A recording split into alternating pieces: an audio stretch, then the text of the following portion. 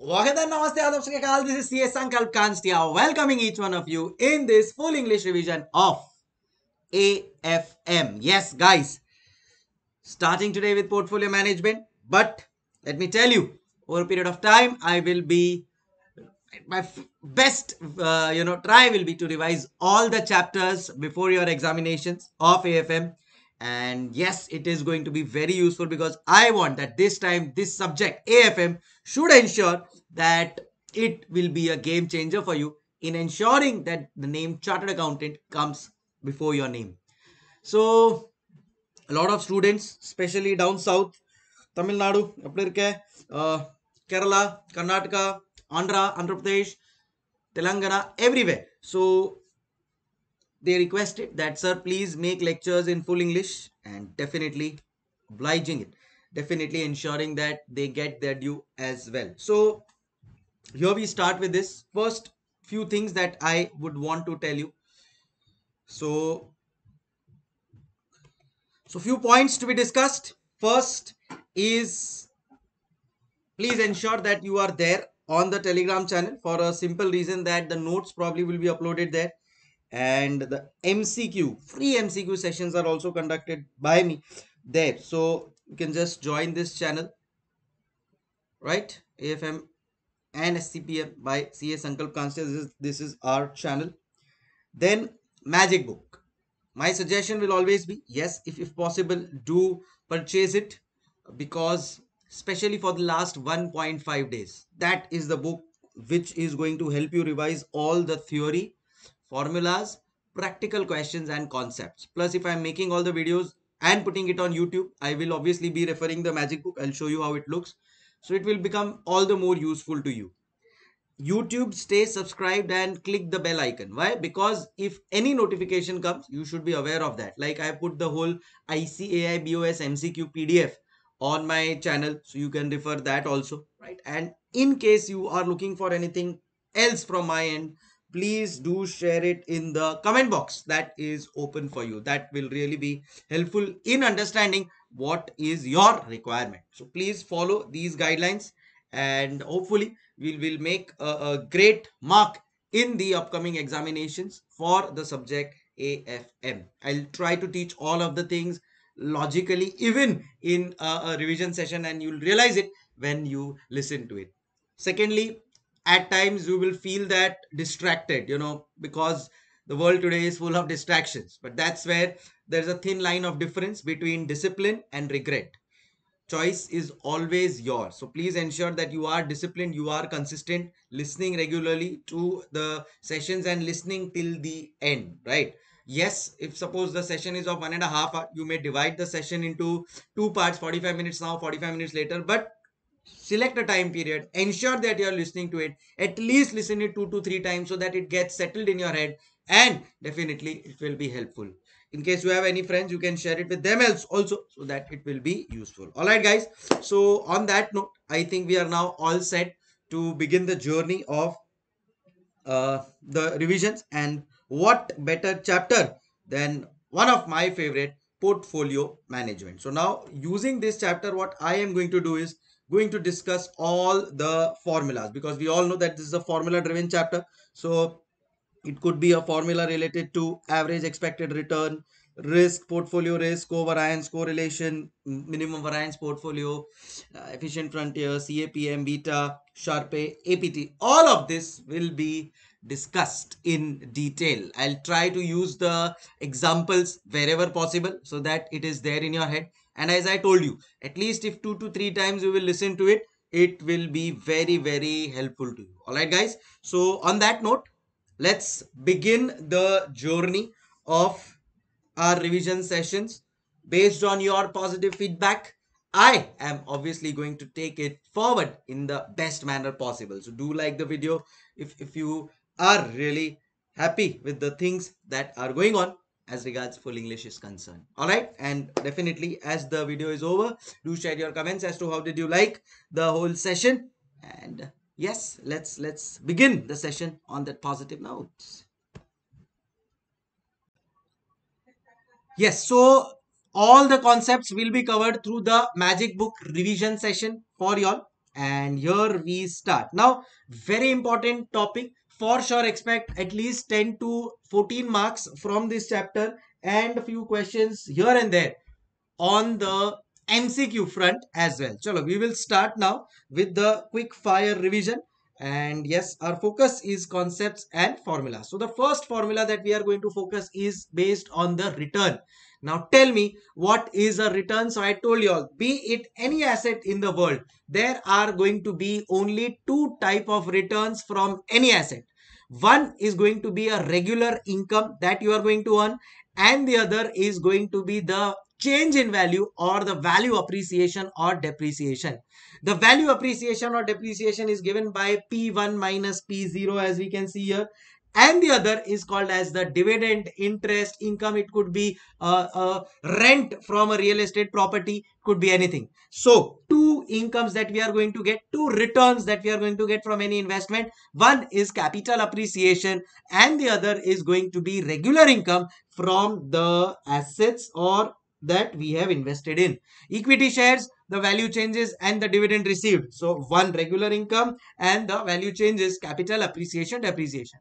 So P1 minus P0 is the capital appreciation part plus dividend or interest income or any other regular income that we are going to get from any asset is the other part divide by P0. What is P0 guys? The original investment that we have done. Are we clear with the returns formula? P1 minus P0 plus regular income upon P0 is my return. Got it? Done. Now here we have two kind of returns. One is called as the average return and the other is called as the expected return. The average return is based on the past data and the expected return is based on the future data. Now, what is the average return? It is based on past data. So, say for example, X bar is equal to sum of past returns divided by number of observations. So, say if uh, 5 returns are given to you, 5 years past return is given to you. So, you will do a sum of that divide by the number which is 5 and you will get the average return.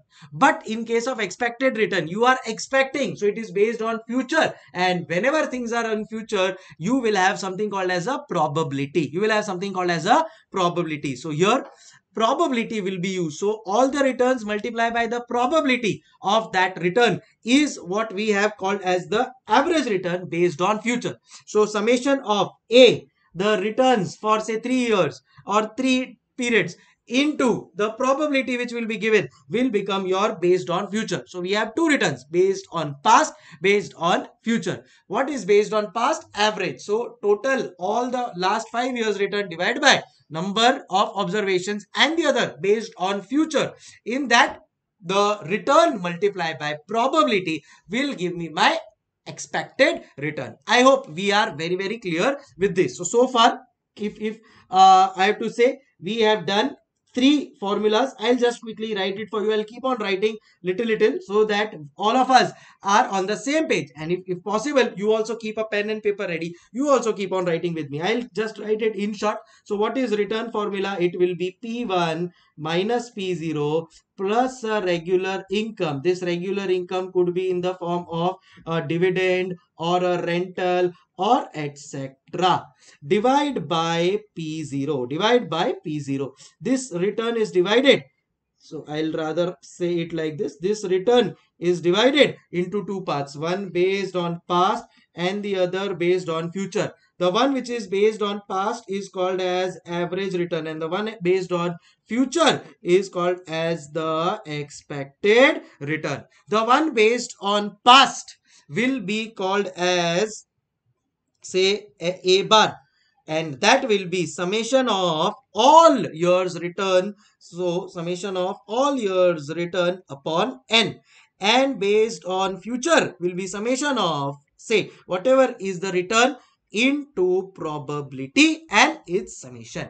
Are we clear? Yes sir we are clear. Moving on to the next part. Now the yes the return part is done. Now let's focus on the risk part. What is risk Risk is basically the deviation from the average or expected return. So I am expecting a particular average return. If I do not get that much return. That can I say is a risk? Now for people, risk is only negative. It's It could be a positive risk also. It could be a negative risk also. Let me give you an example. So you are expecting 70 marks in uh, AFM and you secure 65 marks. So it became a negative risk. Oh, my average may go for a toss. At the same time, you are expecting 70, but you may also secure 80 marks. That's a positive risk that has worked for you. Are we clear? So now risk has also two parts based on past and the other is based on future, based on so based on past and again based on future. So the risk is denoted by two terms. One is variance and the other is standard deviation. Well, the real risk is standard deviation. But still we will have to first calculate variance and then calculate standard deviation. Sir, why so? For that you will have to read the SK info which I will do it for you. Don't worry. Now, based on past the variance, what is variance? Deviation from the average return. So deviation of my return from the average return. So A minus A bar upon N so ideally i told you that we need what we need is standard deviation. So why have we done the square here? For a simple reason because see here if a minus a bar if a minus a bar is taken and for five years it, the data is given. So a a minus a bar for one year a minus a bar for two years. So a1 minus a bar first year a2 minus a bar second year a3 minus a bar third year a4 minus a bar fourth year a5 minus a bar uh, fifth year. The summation of this will always be zero. Why? Because you are taking A bar. A bar is what? It is an average. Now, if you are taking an average, so obviously some part of it will be positive, some part of it will be negative. Eventually, the whole will become zero. So, summation of A minus A bar will always result in zero. So, will the risk always be zero? The answer is no. So, that is the reason what we will do is, we will do A minus A bar the whole square we will do a summation of that and then divide it by n. So this is what how it works. a minus a bar the whole square. Summation of that. Now once you do the square, it will not become 0. So a minus a bar the whole square upon uh, a minus a bar the whole square summation upon n number of observations. But again I told you we don't need a square. We just need a minus a bar. So that is where we will do the square root of variance and that is called as the standard deviation. So a minus a bar the whole square will give me variance. Root of that will give me standard deviation which is my real risk. So you understood why are we doing the square? So that mathematically summation of a minus a bar becomes 0 will always it be a zero risk? Obviously not and that's the reason we do the square. I hope we are clear. Then it is the other part which is based on future. So here again we will have to follow the suit. So what we will do is variance first we will find out so a minus a bar the whole square will happen here also multiply by probability. So summation of a minus a bar the whole square multiply by probability. And then standard deviation will also be the root. So a minus a bar the whole square into probability and then the whole root will give you the standard deviation. Use data in totality for correct calculation. So we should use the whatever data is there in totality we will use so that we get the correct this. And usually our students have a question that's how many decimals we have to take? Usually ICAI takes two decimals so that should be okay. In case of future based returns remember first calculate a minus a bar square into p. And I think it's missed. Then do the summation. Then do the summation. So first we will do a minus a bar square into probability. So a minus a bar square into probability. A, a1 minus a bar into square into probability. a2 minus a bar square into probability. All of that, then we will do the summation. Gotcha, everybody. So that's how my risk also works. So here, let's quickly write down the formula for risk as well. Yeah. What say guys? I hope you guys are understanding. Please, please keep on telling me. Revision. So it has to be fast, but it should also be understandable. Are you understanding? So one risk is based on average return and the other, the risk is based on future return. When I say risk is based on average return, it is A minus A bar the whole square. Why do I do the whole square? So that my summation of it is not zero. This summation i will do and this basically is called as variance. This ladies and gentlemen is called as variance. Are we clear everybody? And at the same time and at the same time if i have to calculate the standard deviation it will be summation. A minus a bar the whole square i will write it as it is. Summation I will do upon n and we will just do a root out here. When I speak of the future, so this is risk based on average, I will write average risk not return and future risk. Again, variance will be summation a minus a bar the whole square into probability and your standard deviation will be summation a minus a bar the whole square into probability. Are we clear everybody? So with this, we also complete the risk part of the portfolio uh, of the uh, security. Now from individual security, see this, all of this was being done for individual security. All of this was being done for individual security. From individual security, we will now move on to the portfolio risk and return. So now we have understood it from the point of view of a so far we have understood it from the point of view of an individual security. We will now try to calculate for the portfolio. Let's continue.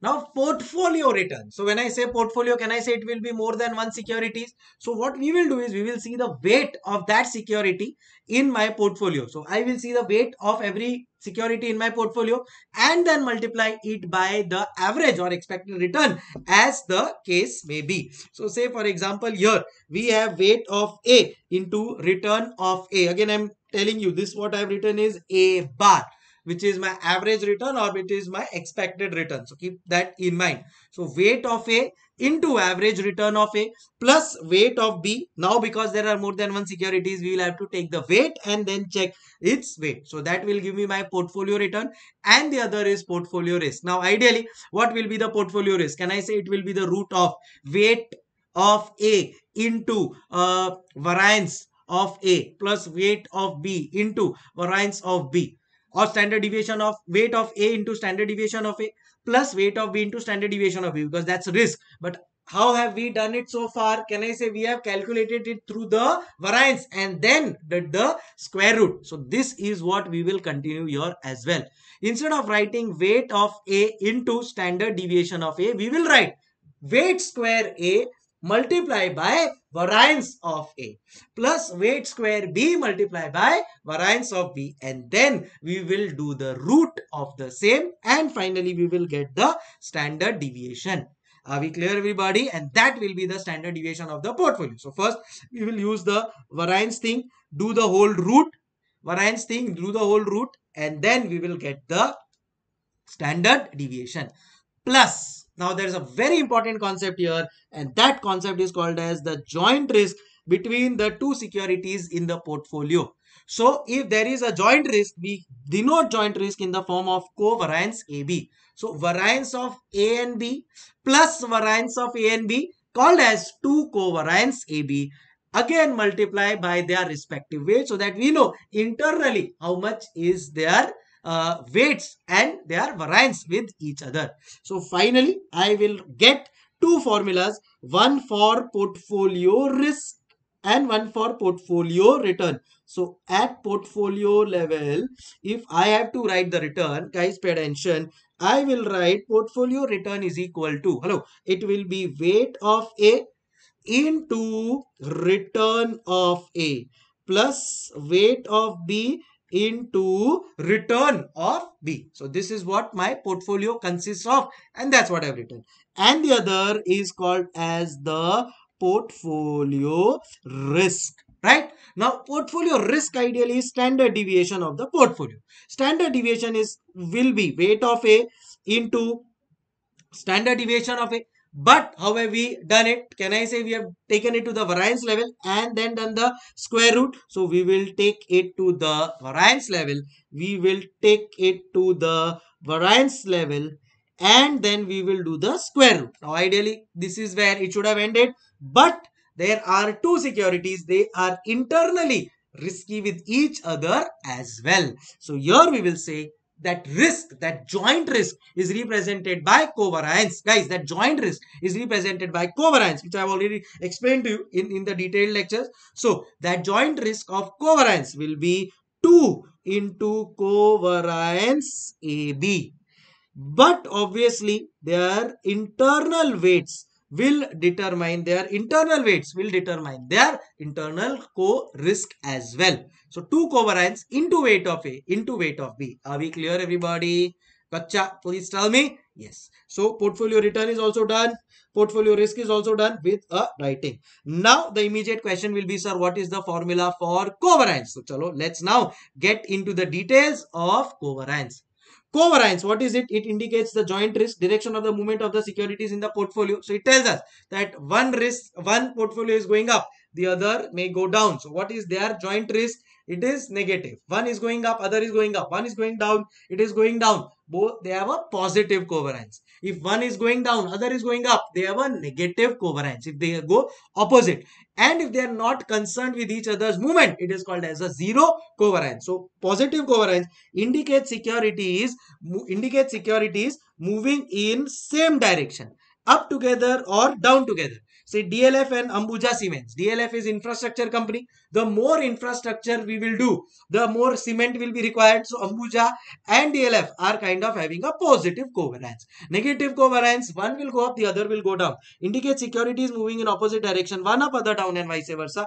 Probably a Axis Bank and Wipro. Here you can take the example of a foreign exchange money and then you will realize how it works. And the other is zero covariance. No covariance between the two securities, Asian Paints and Airtel they have no connection one is a telecommunication company one is like a a paints company or FMCG company, they have no connection with each other at all. Now, when we calculate the covariance, it will be in the range of negative infinity to positive infinity. It can go anywhere. So, this covariance just tells the direction.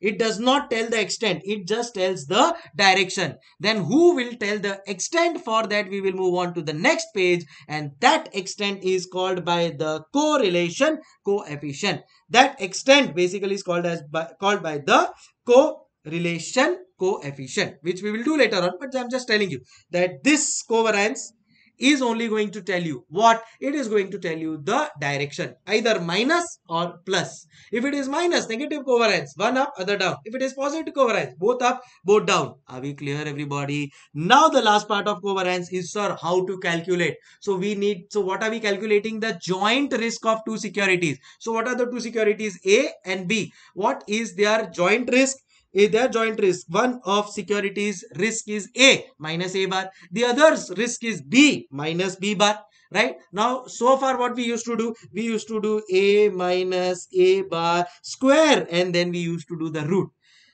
This square was done because otherwise it will become 0. This root was done to, this root was done to nullify the effect of square. Now here the two securities are that two securities risk are being examined. So here we will not do the square. We will directly say summation A minus A bar B minus B bar their summation upon N. And that is what my correlation will, uh, covariance will look like. And the other, and the on the other, other hand, the same thing, but multiplied by probability. So here we have, say summation A minus A bar uh, b minus b bar into probability and their summation will give me my future data covariance. Are we clear everybody? So here we will say if I have to calculate the formula for covariance guys what will it be? One based on past which is my average. So I will say summation A minus A bar and b minus b bar upon n right? So risk between the two securities. Risk is deviation from the average and two securities. Multiply and the other and the other is based on future which will be based on probability. So it will be summation. A minus a bar b minus b bar into probability Gotcha, everybody. So, whenever you calculate, first you will calculate A minus A bar, B minus B bar, P. Multiply all of them and then their summation. Do you know how to calculate A bar? In case of probability, it will be A into probability summation. Do you know how to calculate B bar here? Yeah, summation of B upon N. Gotcha, everybody. So, that brings me to the conclusion of covariance and my covariance just tells me the direction whether it is minus or plus or 0 now the exact extent will be given by correlation coefficient which tells that it will be between minus 1 to plus 1 if it is minus 1 it means that there is 100% diversification. So if one goes up you don't have to worry other will go down. Or if you the other goes down you don't have to worry the other will go up. Because there is a minus 1 correlation called as perfectly negatively correlated which we will be doing here perfectly negatively correlated. Okay? So minus 1 and the other is plus 1 plus 1 means zero diversification See, what is diversification? Diversification tells you that the, suppose if there are three companies, one is in telecommunication, one is in say, uh, cement, uh, the other third one is into say some other sector, say FMCG. So there are three companies, diversified, not connected. So if one goes up, the other may you know go up a little may come down a little they are diversified but in case of plus one it is like the same sector everything is same. Axis bank and say hdfc bank will have a positive one correlation because if any news comes relation in relation to the banks both will go up or both will go down. There is no diversification at all are we clear everybody guys? So correlation coefficient tells the exact direction minus 1 to plus 1. If it is minus 1 fully diversified. If it is plus 1 zero diversified. Now let's see how the formula works as regards R is concerned which represents correlation coefficient. So RAB guys RAB is equal to covariance of AB upon standard deviation of A multiplied by standard deviation of B and covariance AB can then from this formula be derived that it is RAB into standard deviation of A into standard deviation of B. Hey, samjh everybody. So what is it? It is covariance AB upon standard deviation A into standard deviation B and that is your correlation coefficient correlation coefficient of a security. Gotcha, everybody, of a portfolio. Got it, everybody? Done. So if I have to write here, so I will write here correlation coefficient represented by R. What is R? It is covariance AB upon standard deviation A multiplied by standard deviation B. I am clear, sir. Now connection between correlation covariance. So I told you one shows the extent, the other shows the exact direction.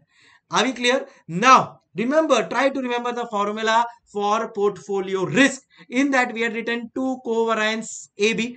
Instead of covariance, now I can denote it in the form of RAB into standard deviation of A into standard deviation of B. So this covariance AB can be can be substituted by RAB into standard deviation A, standard deviation of B and that gives us another formula for portfolio risk if if directly my correlation coefficient is not given. Are we clear everybody? Done. Now let's dig deep into this correlation coefficient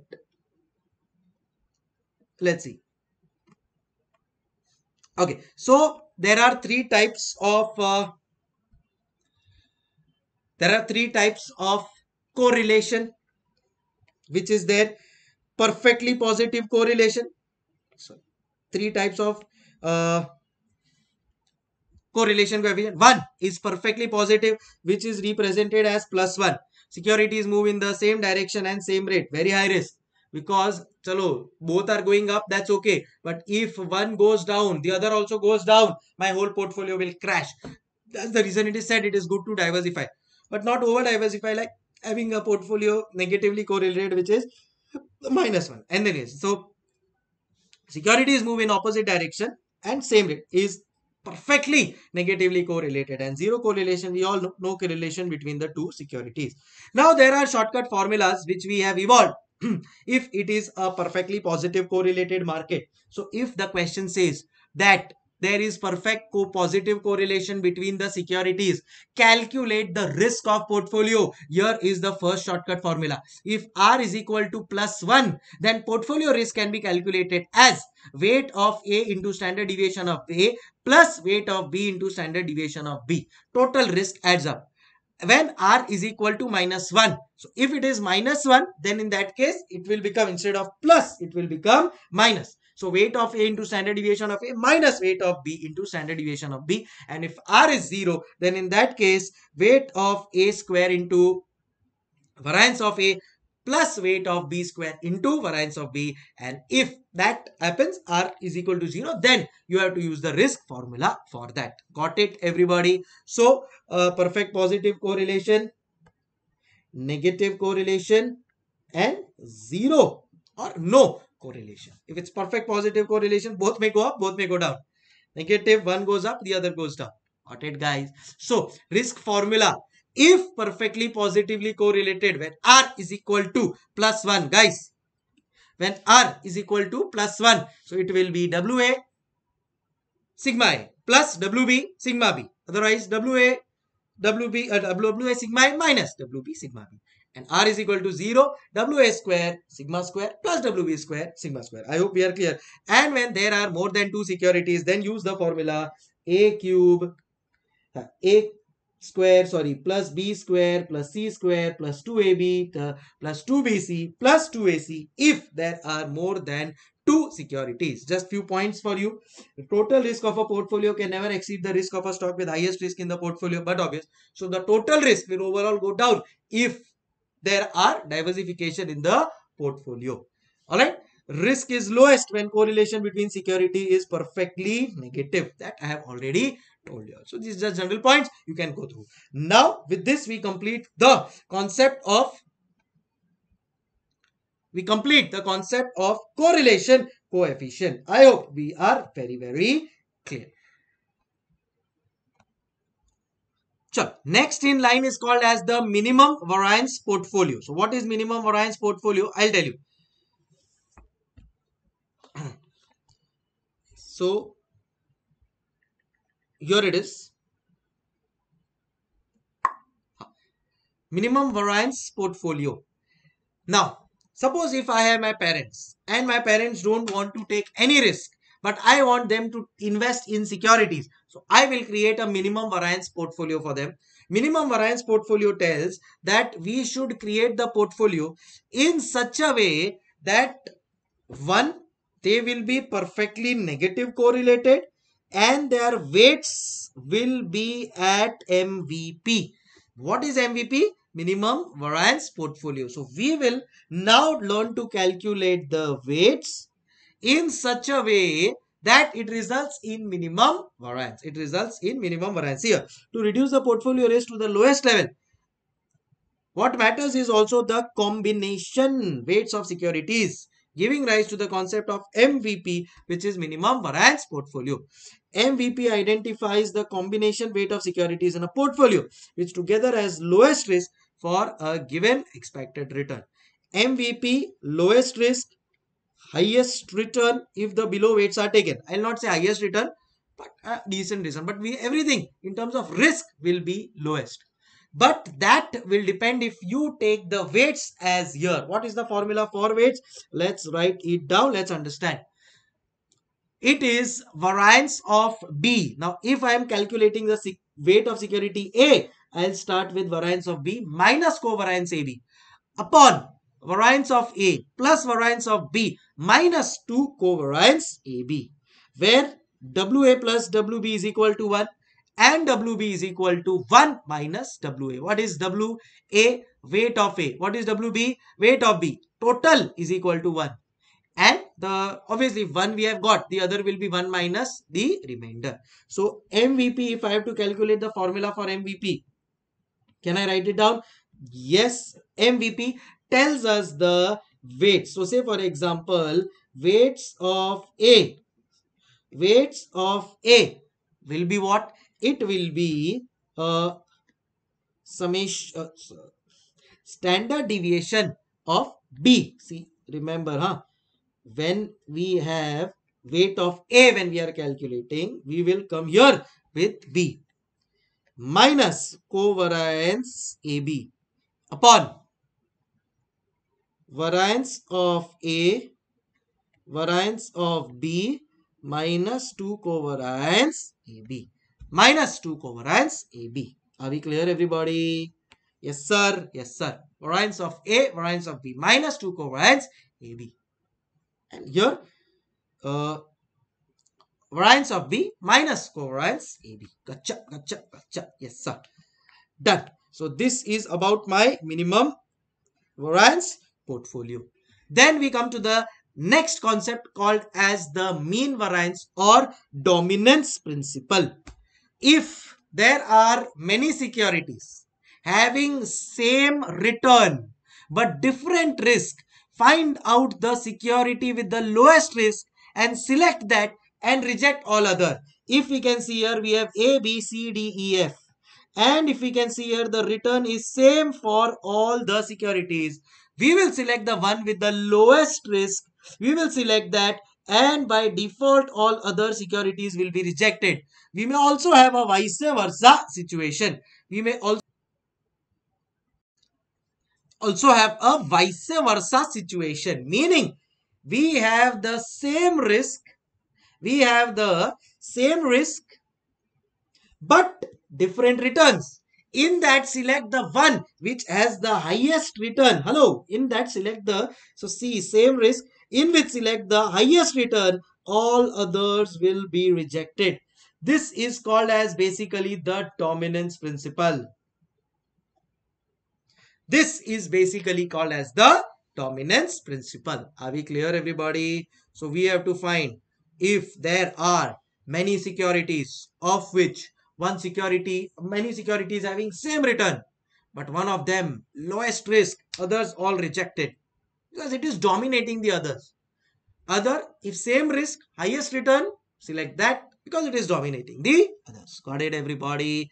Done, sir. Now, finally, if we have different risk and return combination, then use the formula of coefficient variation, which is risk upon return or standard deviation upon mean right? So if the you know returns are different risk is different then in that case for everything we have to calculate the risk return ratio. Lower the better. So the this is the lowest.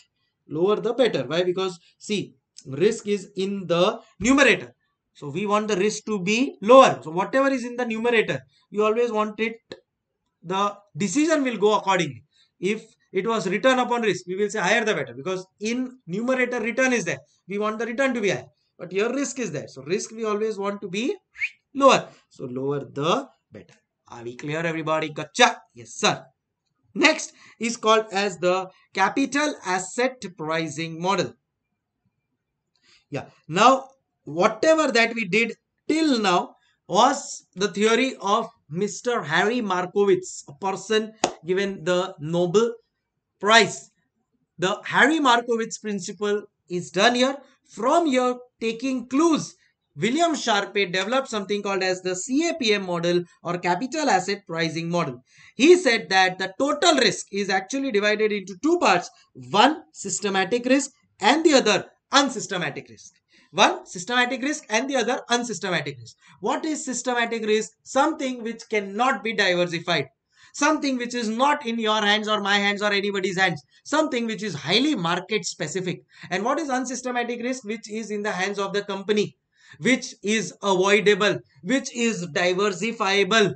So that is basic fundamental difference between the non-diversify or systematic risk and the diversify or the unsystematic risk. Let's continue. Now the non-diversify or the systematic risk as I told you, is the market specific risk which is not in anybody's hands, risk that affects the entire market, not just a particular stock or industry. Market risk like interest, purchasing power risk, in, uh, you know, inflation, war, global factors, monetary policy. RBI may come up with a monetary policy that they are increasing the uh, interest rate by 25, 50 basis points. The Reliance, HDFC, DMart, anybody, Larsen and Toubro, everybody will be affected, and it is not in hands of anybody. It is hand in the it is in the hands of the government, which nobody can control. Non-diversifiable, systematic, market-specific risk, and the other is diversifiable, unsystematic risk. Unsist uh, uh, uncertainty inherent that a company may have. It could be an internal risk, external risk. It could be a credit risk, currency risk, so all of this comes here. So it arises due to the company's internal factors, financial position, business strategies, scams within the company. All of that is unsystematic risk or diversifiable in the hands of the specific company. Got it everybody? Yes, sir. So that basically is called as diversifiable unsystematic risk. This risk affects directly to the to the particular company only and may not have direct impair, impact on its peers or the industry. So here it affects directly to the company. Now if Satyam company has done a scam, it will not affect the other companies. It will just affect the Satyam company. Unsystematic risk. Or if there is a sales strategy used by Jio, penetration policy, it is just for Reliance Jio. Unsystematic risk, specific to the company right but in in in case of the systematic risk it affects every company in the particular sector industry or economy therefore systematic risk is unavoidable cannot be removed but unsystematic risk is avoidable. Invest in good companies. Invest in companies which has a good management and good fundamentals and good track record. Great. So they are avoidable and therefore can be protected or insured or diversified in a comprehensive portfolio by increasing number of securities. Are we clear everybody? Now based on this CAPM model, hello, based on this CAPM model, he came out with the formula of expected return or required return or cost of equity. So now as an investor in any company, I want two basic things. One is the risk-free return because I am taking a risk by investing in your company. So at least risk-free return. So I want means I want plus I want the market return as well. So suppose if market is earning 12%, risk-free return is for, uh, say 8%. So I want additionally, additionally in so one 8% I want plus additionally this 4% is also what I am looking for. But this is multiplied by a most crucial factor called as beta. Beta is basically telling us that see from every company you will require a different kind of return. Say from a very good company like a Larsen and Larsen and Toubro you will not require very high returns. You will require average returns and you know. See, end of the day return is based on risk. You know Larsen and Toubro is a very good company. So the risk of investing in a Larsen and Toubro is very low. If the risk of investing in that is low, my return expectations will also be low.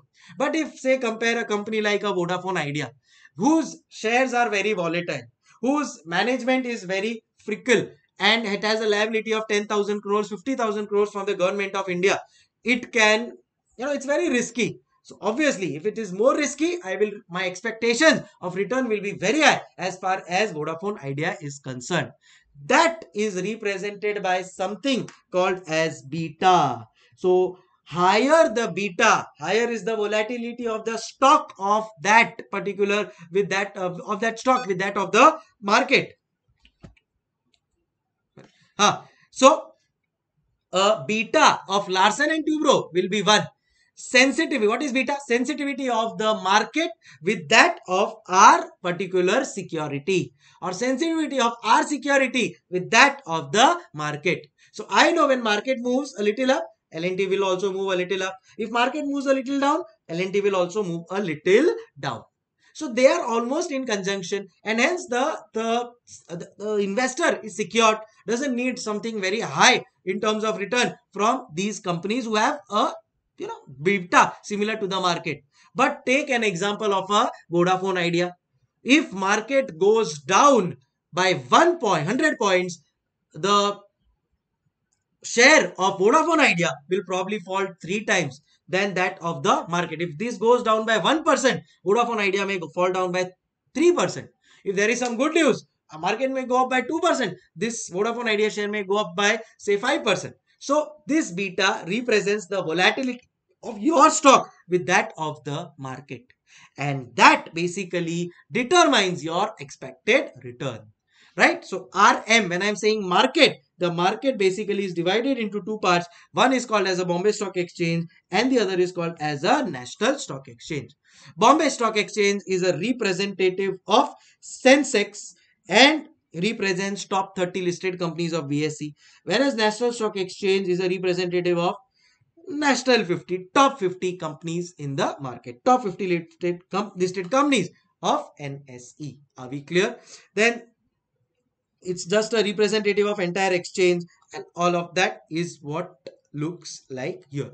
In India, equivalent of a BSE is Nasdaq in USA, NSE, NYSE in USA. Sensex is Dow Jones and Nifty is like S&P, Standard and Poor Index. Anyways, uh, just a idea to let you know. Now, what is beta?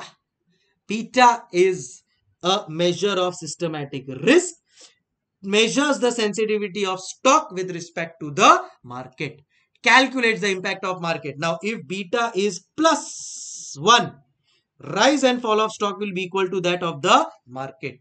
If beta is equal to 2, it means when market increases by 1%, security will increase by 1% into 2, which is 2%. Same way, if beta is more than 1, it means it is a highly risky, highly volatile stock. Like that of Vodafone Idea, just I, I just told you. So rise and fall will be, if it is sorry, it is high, will be higher than that of the market. Both rise and fall. Again, I am telling you.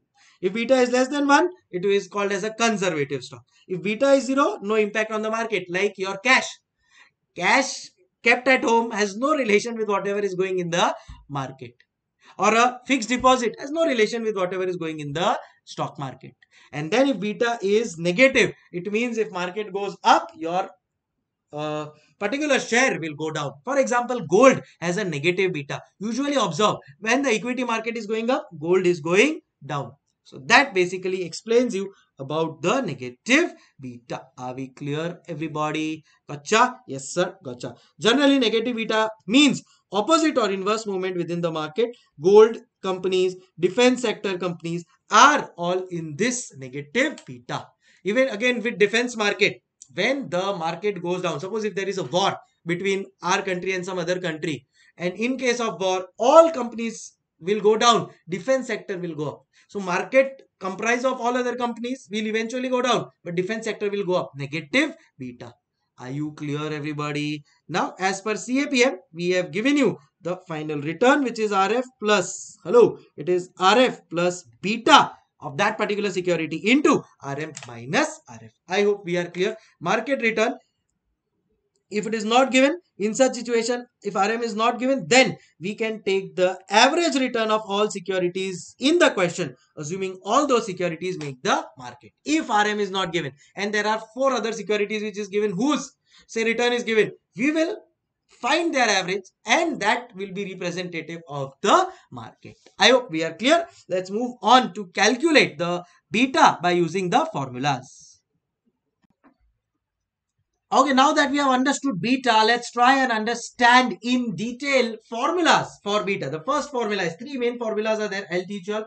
First is beta. What is beta? It is the volatility of our one share with that of the market. So change in security return upon change in market return. Gotcha, everybody. Change in security return upon change in market return. So Infosys is running at 500 and market is at 1200 market is now goes up by 600 and Infosys goes up by 300. Again, market goes up by 300. Infosys goes up by 150. It means that the beta of Infosys is 0.5. Uh, one point change in market results into 0.5 change in Infi, giving us a 0.5% uh, 0.5 beta. Are we clear everybody? Done. Now there are other formulas as well. So what is beta? It basically represents the joint risk between the securities and the market and joint risk is represented by covariance. Hello, right? Covariance of security and market upon variance of the market. Easy peasy formula. So what is the covariance of security? Security minus security bar. into market minus market bar upon variance of the market. This can further be represented as so covariance security market upon variance of market can also be represented as like this. What is it? It is correlation coefficient of securities with the market into standard deviation of security, standard deviation of market upon variance of the market. Now, obviously, market, market cancels and we will finally have the formula for covariance which will be RSM into S. So, I'll just write it here for you. Uh, RSM which is correlation coefficient of securities with the market into variance of, oh sorry, standard deviation of security upon variance of market. It guys? So this can also be a alternative formula. So always remember beta 1 change in security change in market return change in security return upon change in market return then covariance covariance why because it is a joint risk between security and the market so security minus security bar market minus market bar summation upon market square because end of the day it is the market that we are comparing ourselves with got it guys done so this year rab uh, covariance AB upon AB is used and covariance of SM upon variance of SM is also what we can write. So I hope we are very very clear. Then there is a formula based on regression analysis is hardly used. We can just uh, go through this sigma x uh, summation of xy minus n x bar y bar upon summation x square minus n x bar square. So this is how it works. Then comes portfolio beta. What is portfolio beta? So it is beta of A into weight of A. Very, very important formula. This beta of a security. So what is the portfolio uh, portfolio beta means? Howsoever securities are there, we will first individually find them, find their beta. So there are three securities A, B and N. Security A, it's beta. Security B, it's beta. Security N, it's beta. And then the weight of those securities in our portfolio. So weight of security A in our portfolio multiplied by beta. Weight of security B in our portfolio multiplied by beta of B.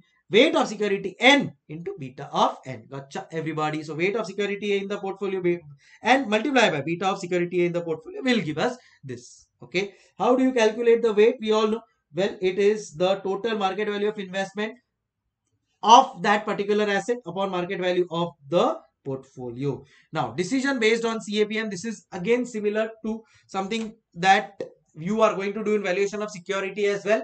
Pay attention. CAPM return, which is the expected return or the return that the investor is looking for. This basically is like the required return. Hello please write here the required return. So my required return is greater than my expected return. Will I be happy or will I be sad? So say my expected return was, let's take an example. Sorry. Let's take an example. My expected return say is uh, 10% and my CAPM return is 8%. So CAPM return is basically my required return as I told you it is my required return my suggestion please write it there. So if my required return is 8% I think I've written otherwise sorry this will be 12.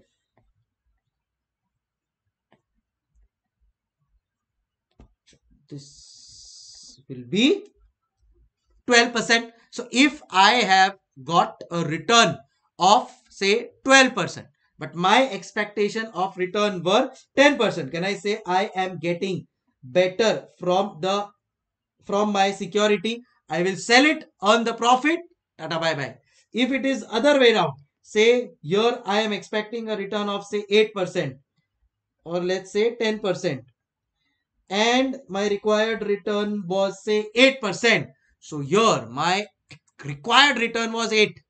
I got 10% return. Very good. I will buy such kind of share. But here my required return was 12. But I got only 10% return. I will say, sorry, I don't want your share. I will sell it. Because my required return was 12. You were able to give me only 10%. So it's not good. I will sell your share. You are not able to meet my requirements in the first case. In the second case, My required return was 8, but you have given me 10% return. Very good. You have met my requirements. I will buy your security. Are we clear everybody? And if it is equal, you can just hold it. Done. CAPM return need to be calculated by using the formula. Obviously, we know RF plus beta into RM minus RF. Are we clear? So with this, we complete the concept of beta as well. Moving on, moving on to the Sharpe index model. Now, my suggestion will, will come here at the end. Sorry, okay, Sharpe index model, sorry. I thought Sharpe optimization. Sharpe index model, again very important. Now pay attention. The given formula by Sharpe of required return is based on characteristic line regression which is given by the formula y is equal to a plus bx. Do you remember? y is like your return of security, required return. A is like is like your intercept, risk free plus beta is like your slope. Plus x is your like your rm minus rm. Now what the Sharpe index model says is see we know that one part of return is your systematic return which we can see this. See the shareholder is compensated by a company for taking systematic risk so here he has taken the systematic risk and we are going to compensate him by giving him a return which is rf plus beta into rm minus rf but can I say there is also a unsystematic risk involved by default in every share? It could be a minuscule number, but that is represented here as this. That is represented here as this. Are we clear everybody? So this is your Sharpe index model. This is your Sharpe index model which says that there is some element of unsystematic risk which should also be taken care of, which should also be taken care of. Below is the concept of Sharpe index model, which says total risk is systematic risk plus unsystematic risk. Systematic risk we know is the combination of beta with the market, but unsystematic risk little also is there, which is called which is called as residual error. Again, I'm telling you, it is called as residual error, it is called as standard error, it is called as error. It is called as residual variance. Whatever name you want to give, you can give it. So, total risk from the X from the angle of Sharpe index model is systematic plus unsystematic. Systematic, obviously we know beta combination with the market variance. So, beta variance uh, with the market variance plus the error, the standard error. So, here we will write if you want, we, just for a remembrance, that Sharpe index model SIM will be two things systematic risk plus unsystematic risk. Systematic risk is beta with the market. So beta security market plus unsystematic risk which is your standard error which is your standard error. I hope we are clear. Now continuing. So unsystematic risk can also be written as guys this is your total risk which is systematic risk plus unsystematic risk. Can I write unsystematic risk as total risk minus systematic risk? We know total risk is standard deviation minus we know systematic risk is beta square into market square we will be left with the balancing figure as your unsystematic risk. Guys, please understand this very, very properly. So, total risk, uh, unsystematic risk will be, yeah, uh, just put a bracket here. Yeah. Unsystematic risk will be security risk, which is represented by variance minus beta into market variance. Beta variance of security into market variance. That will be your systematic risk, total risk. Sigma square S. Are we clear everybody? Gotcha. Done.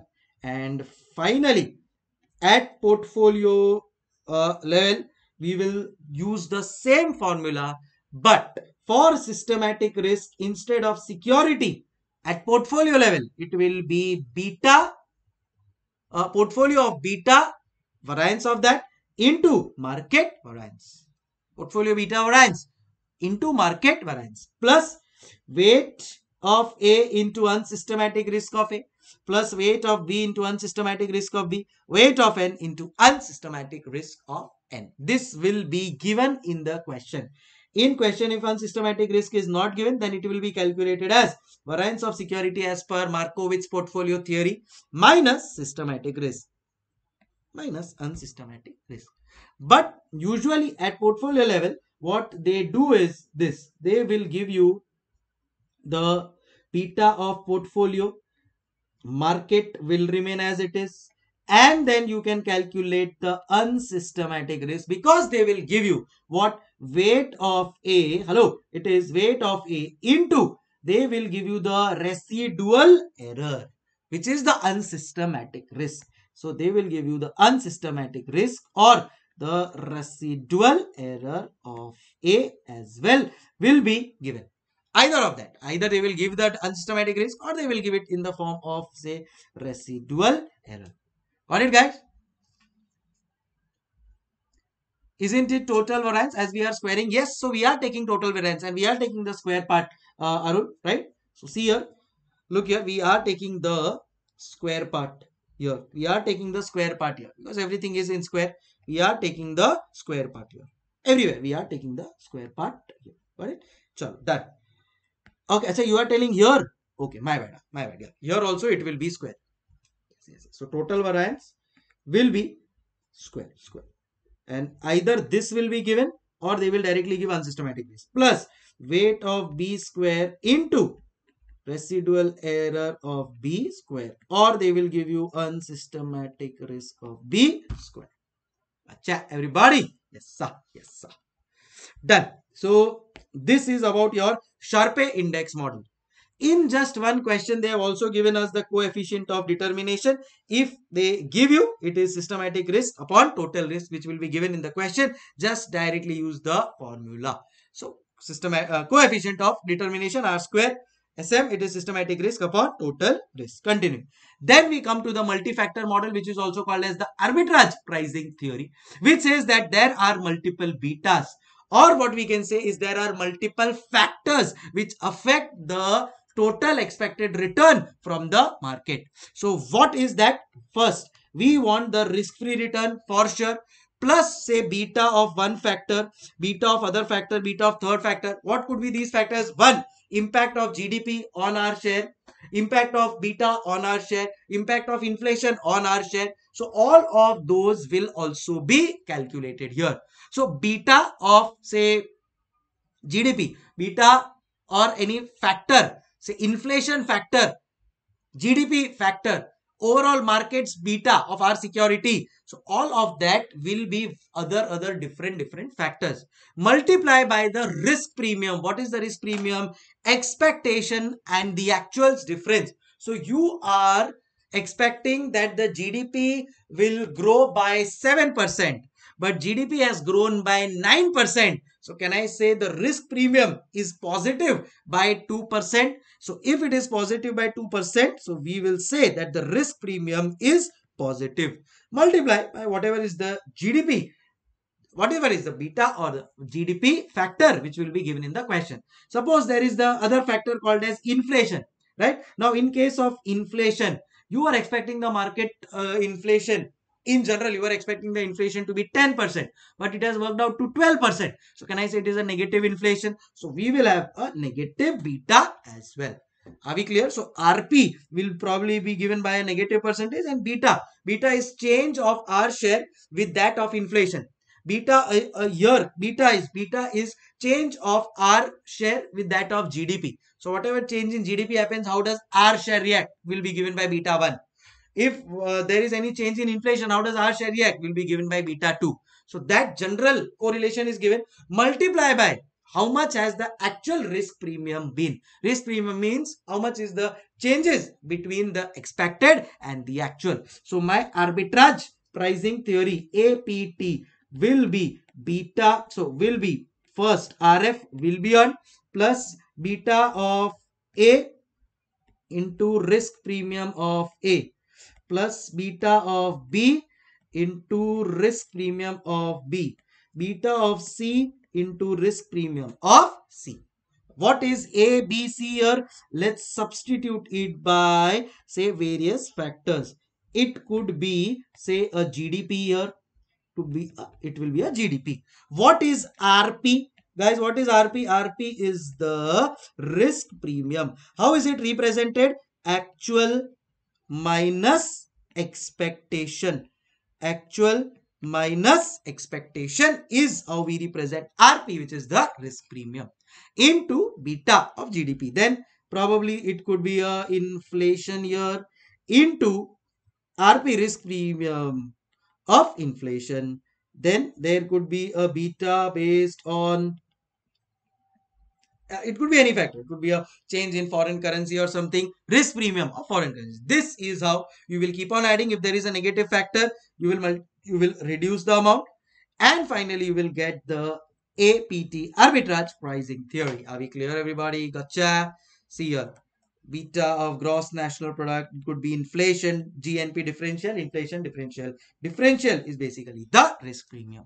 It, sir? Done. Okay. Then we move on to the performance evaluation aspect, which is very, very simple. See, performance evaluation of funds, mutual funds can be done in three ways. Sharpe, Treynor, Jensen's. Very easy. Sharpe says that whatever is the return that the portfolio has earned over and above the risk-free return is the real overall return that you have earned. See, risk-free by default, every portfolio has to earn. How much have you earned over and above that risk-free is your real extra return. But that will have to be compared. In case of Sharpe, we are comparing it with the risk or standard deviation of the portfolio. In case of Treynor, we are comparing it with the systematic risk, which is the beta of the portfolio.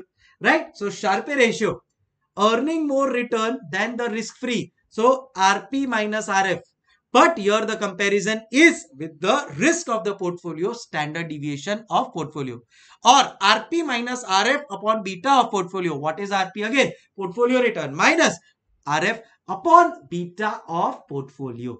So one is standard deviation of portfolio. Other is beta of portfolio. Gotcha everybody. And then last we have is Jensen's alpha which is expected return based on CAPM minus actual return. If my expected return or, or what you call as the required return is say 10%, my actual return is 12%, I will say 12 minus 10, 2 positive, very good. If it is other way around, 8 minus 10, 2 negative, very bad. What is Jensen's alpha? Actual return minus required return or expected return as per CAPM. CAPM, RF plus beta into RM minus RF. Are we clear? So, come on, Sharpe, everybody. Chalo, let's write it down. What is the Sharpe? So it is saying that see whatever return your portfolio has earned over and above the risk free that we will compare with the variance of the portfolio. Acha, what is a Treynor? Hello, what is Treynor? Whatever return the portfolio has earned over risk free that we will compare with the beta of the portfolio. And last, last is my Jensen's alpha. Jensen's alpha. What is that? It is actual return minus required return as per CAPM. Okay. What is CAPM? It is RF plus beta RM minus RF. Hey, do everybody. So this is what is your Jensen's alpha. So with this, we complete the performance evaluation as well. Gotcha, everyone. Yes. Okay, next we move on to the concept of market lines. There are two market lines, security market line and characteristic market line. I will make it very simple for you. I've already made it very simple through this. Uh, now, pay attention. Characteristic market line, see the formula. It is required return. See now, there is just one question based on characteristic market line and uh, security market line. So we just have to understand these two formulas and we'll be done. I have taken one question, an example of ICAI where we will have to calculate or where we will have to use both characteristic line and we will have to use the securities market line for sure. So that way this whole concept will be done. Now, characteristic market line, logically it's systematic risk and rate of return. That's what we uh, show on our graph. But as of now, we are just focused on the formula thing because this is just a revision that we are doing. So now how does this work? So RS, expected return of security is equal to alpha plus beta into RM. What is RM? It is the market return. Alpha is what we will have to calculate. Don't worry. This is beta, which we know. RM we know. So see, we know how to calculate RM. Yes. We know how to calculate beta. Yes. We know how to calculate RS. Yes. RS is expected return on security. You used to calculate? No. The first formula, X into probability. The first formula is your RS. So RS is equal to alpha. So uh, the security market line, I'm just writing the formula for you all.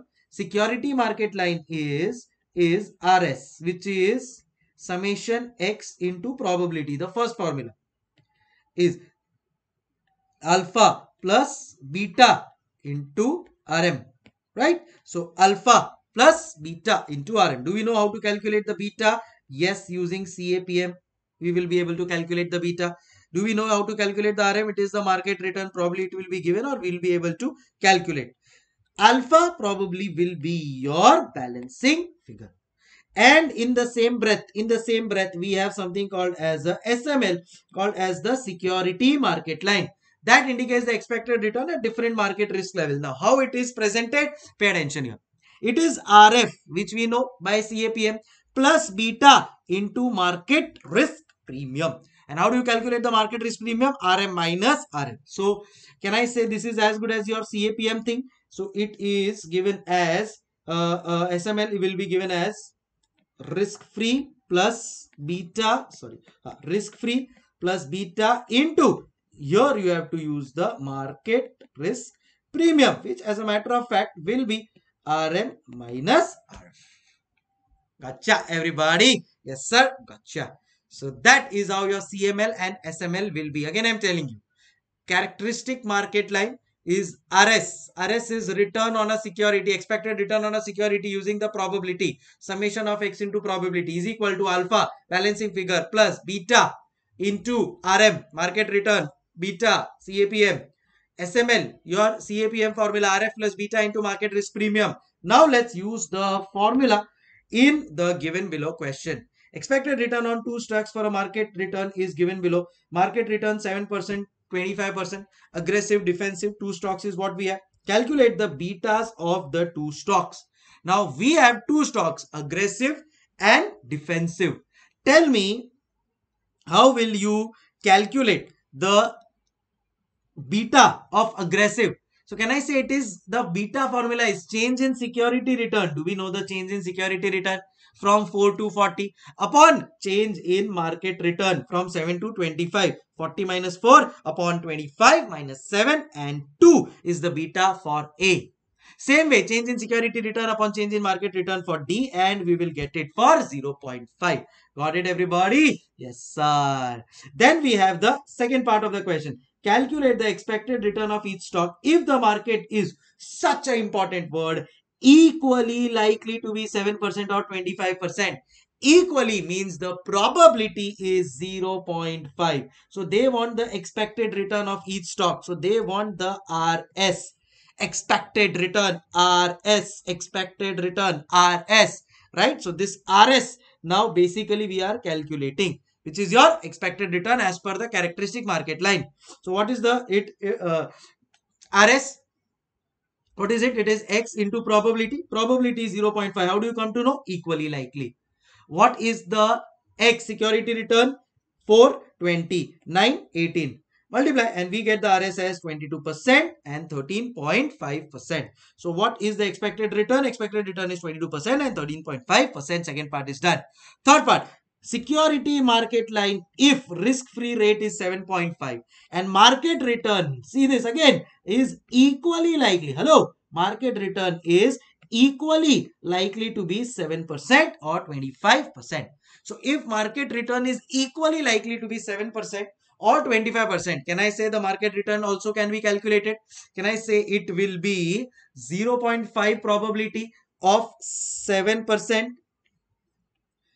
correct 0.5 probability of 7% 0.5 probability of 25% total market return expectations will be 16% what will be the market risk premium? 16% minus 7.5 which is your risk free return which works out to 8.5% so risk free which is 7.5 risk free which is 7.5 plus market risk premium which is 8.5 risk free which is 7.5 plus market risk premium which is 8.5 and that gives me my securities market line. Why? Because securities market line is what? It is risk free plus beta into market risk premium. Market risk premium is rm which we calculated uh, as 16 minus risk free 17.5 so 8.5 into beta. 8.5 into beta plus rf is giving me RR required return as per securities market line. So what is your securities market line now? 7.5 plus beta into 8.5 and they have asked for security market line itself. Always remember when a line is asked, the market line is always in the form of a equation. Characteristic market line or any line is asked, then line is in the form of a equation. Securities market line, RF plus beta into RM minus RF. RM we calculated using our uh, logic of market return probability into market return probability into market return we got 16 minus rf 8.5 we got as the market risk premium into beta plus rf rf is my 7.5 got it everybody that is my securities market line always remember securities market line is represented in the form of a equation and then finally they have asked us to calculate the alpha in calculating alpha can i say we will use the help of this characteristic line so first in case of aggressive stock RS we know 22%. Hello, RS we know 22%. We have calculated. See this RS 22%. Yes, sir, absolutely correct. Is equal to alpha plus beta into 16%. So beta, where it is? See beta, we have already calculated as 2 into, we have the RM. So your RM is 16. So 2 into 16 and 22 balancing is minus 10% and your 13.5% we can see RS is equal to 0.5 is the beta of defensive stock 16% RM is going to remain as it is. You will get alpha of defensive as 5.5% got it everybody? So this is usually what public for option but I hope we have understood the securities market line and the characteristic line which we will use by solving the above two formulas. Done sir. Okay next we move on to the concept of investing and borrowing of securities to manage beta. And for that also i have a classic formula which you can use. Again everybody pay attention use this classic formula and you will be able to solve any question. Asa, just one note which which i skip just pay attention here. Note what? When different expectations of market returns are given.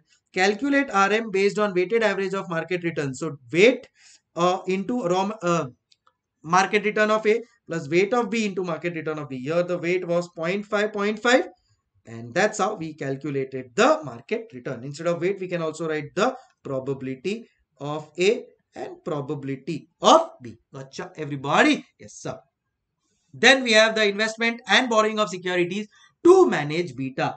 Always remember that target beta that we want. See, currently I have a portfolio which has a beta of 1.7, but I want the target beta to be 1.5. Or it could be vice versa. I have a beta of 1.7, but I want a target beta of 2.2. So it could be any case. I would want to increase my target to it, I would want to increase my current beta to reach to the target beta or I would want to decrease my beta to reach to the target beta. It could be anything for doing all of that one you have the current portfolio into one you have the current portfolio into weight of current portfolio plus now whatever is to be done will be done using the risk free using the risk free element. So beta of risk free into weight of risk free tell me what is the beta of risk free security. It is always going to be zero. We have already discussed while doing beta that the risk free security is not concerned with the market at all. So always my target beta will be weight beta of current portfolio into weight of current portfolio and plus beta of risk free plus weight of risk free is always going to be zero. Is always going to be zero. Now weight of risk free plus weight of current portfolio is 1 but obvious there are only two things. So it is going to be 1 so we know that weight of risk free will now become 1 minus weight of current portfolio. So this is how simple. Now i will make it for y'all using this uh, sum. See now how it becomes very very simple. See one more note. If weight of current portfolio is less than 1 less than 100 then investment has to be done in risk free asset. Now for this note, first we will have to solve this question and then we'll be able to understand the note. First, a portfolio manager has following four portfolios in his beta uh, in his portfolio. Compute the following. If the portfolio is 1.108, so already the beta is given to be 1.108 of this portfolio. If the port, uh, uh, uh portfolio beta is 1.108, if the PM seeks to reduce the beta to 0.8, can I say this is my target beta? So what is my target beta? It is 0.8 is equal to weight of current portfolio, I don't know, into my beta of current portfolio 1.108 plus weight of risk free. Weight of risk free, I don't know, but beta of risk free is always zero. So by default, this becomes zero. So now my target beta 0.8 is equal to weight into 1.108 I will get the weight of current portfolio which is 72.2%. If weight of current portfolio is 72.2% can I say the remainder which is 28.8 or 27.8 will be that of the risk free. So 72.2 is weight of current portfolio. My risk free will become 27.8. Now all I have to do is cross multiplication. If 72.2 represents my current portfolio which is of equivalent of 12 lakhs which is equivalent to 12 lakhs. How much will be 100? It will be 16 lakh 62,050.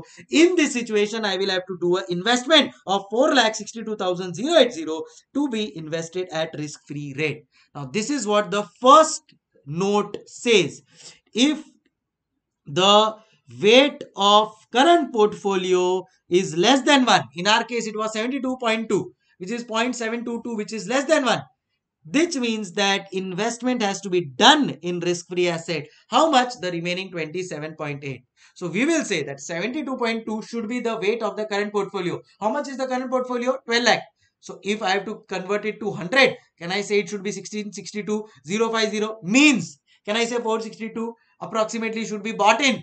So that 27.8% will be that risk free 462 and then automatically my uh, target beta will be reduced from 1.108 to target beta of 0.8 and and on the other hand if i have to increase the beta hello if i have to increase the beta then again the formula will remain same. Target beta is weight of risk free beta into beta of risk free plus weight of current portfolio in, into yeah into beta of current portfolio.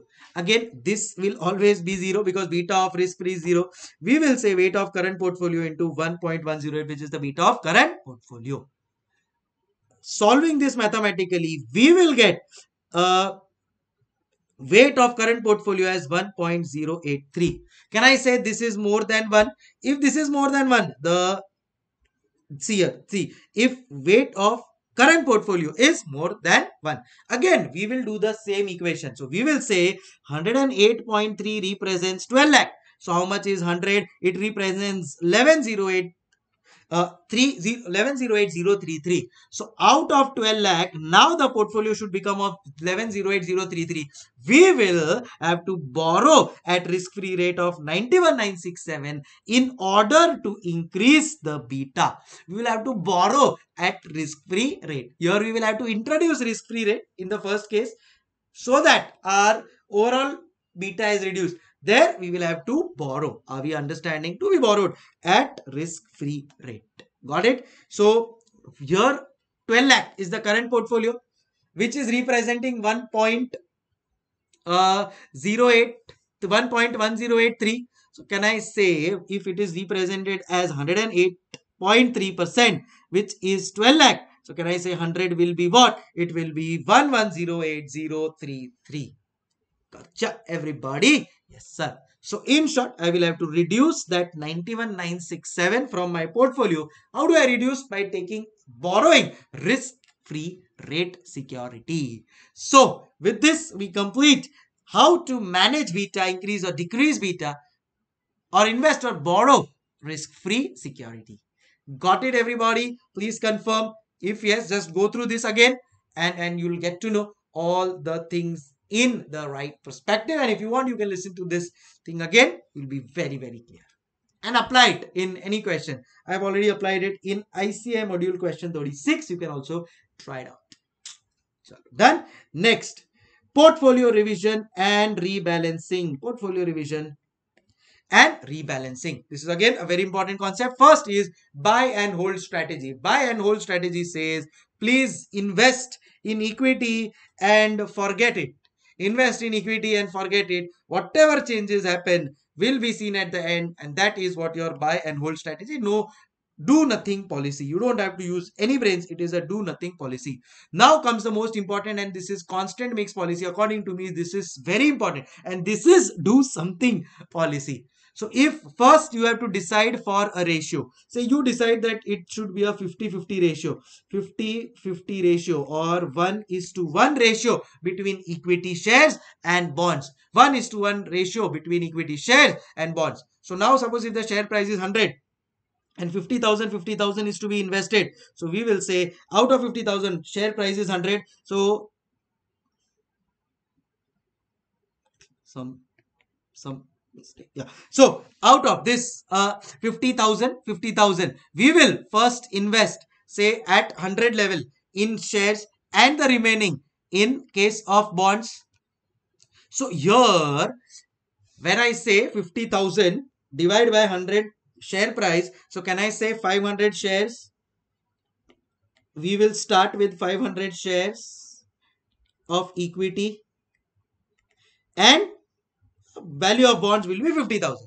Over a period of time, the share price falls to 80. Now, 80 into 500, can I say the new value will be 40,000 for shares, 50,000 for value of bonds, total becomes 90,000. We need to ensure 1 is to 1 ratio. So, 90,000 in 1 is to 1 will be 45,000, 45,000. Tell me what will you do?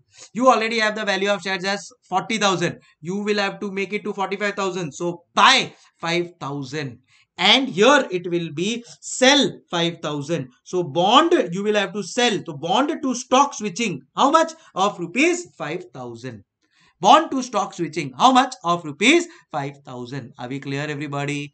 Again say now this falls to 60 so now uh, 45,000 we have. So uh, we, we need to check the say number of shares out here.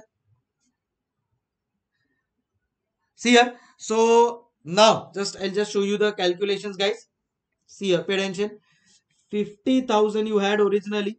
Divide by 100 per share and it will be 500 shares. Yes, sir. Understood, sir. Absolutely clear. Now, I have purchased more 5,000 worth of share for 40 rupees because now the share price has changed. So, how many shares I would have purchased? So, 5,000 divided by 40. Sorry, divided by 80 share price is 80 so divide by 80 so 5000 divided by 80 can i say 62.5 shares more i would have purchased? So in short i and i have now have 562.5 shares. Now the share value has gone down to 60 per share. So uh, 562.5 into 60 can i say it is 33750 are as such Yes, sir.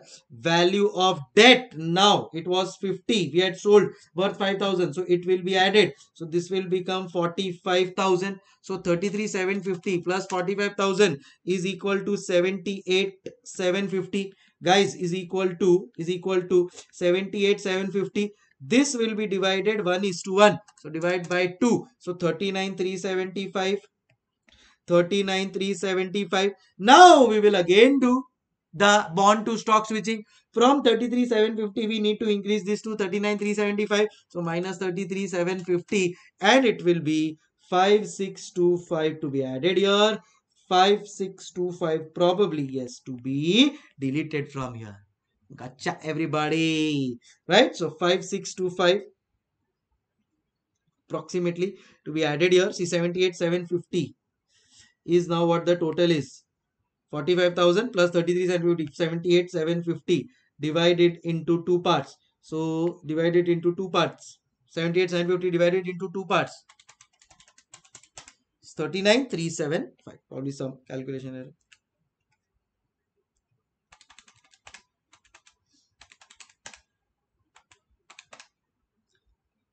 Yes. So now this here again we will have to do again bond to stock switching. How much? Of 5625 of 5625 some calculation error here but uh, i've corrected it here so you can just follow this. It? This is called as crp constant ratio policy. What was the constant ratio in our case? 1 is to 1 in the same way the other reverse may happen. The share price may also increase. If it increases again, then we will have to do stock to bond switching. See this, both examples, stock to bond switching has been done. You can manage it.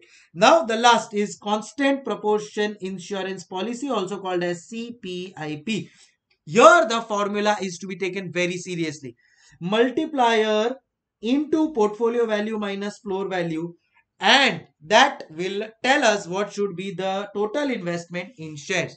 So we will first calculate the portfolio value minus we will be given the floor value. So portfolio value is 10 lakh.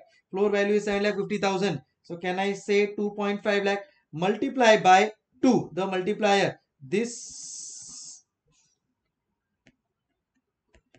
this will give us 5 lakhs. This will give us 5 lakhs. Got it everybody? So that is your proportion of investment in equity shares. So what it is?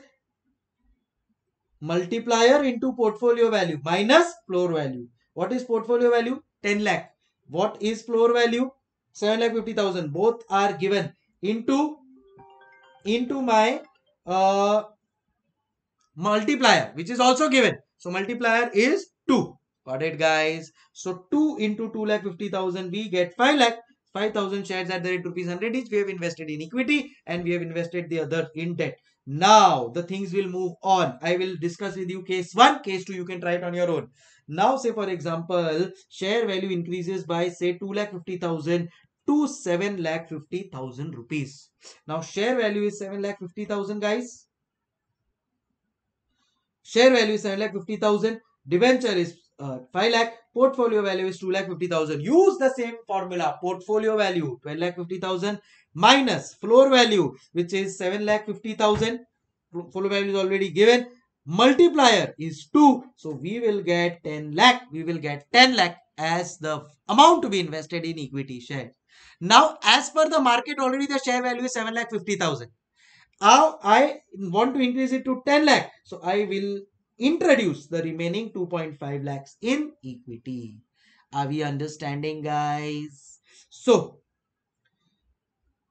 yeah. So 7.5 lakh shares are already there. 2.5 lakh I will add in equity. I will add in equity. So that will make my equity total to how much? 10 lakhs. I already have 5 lakhs in debt. So this the total will become 15 lakh.